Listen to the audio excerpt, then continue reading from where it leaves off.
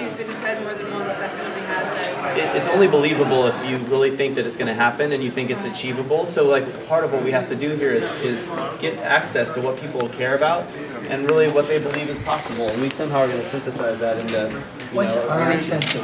I mean, revolutions only happen when people have a shared sense of purpose. I think it's a similar, that's the answer that we're looking for actually, um, in some way. We are Dinosaur Junior.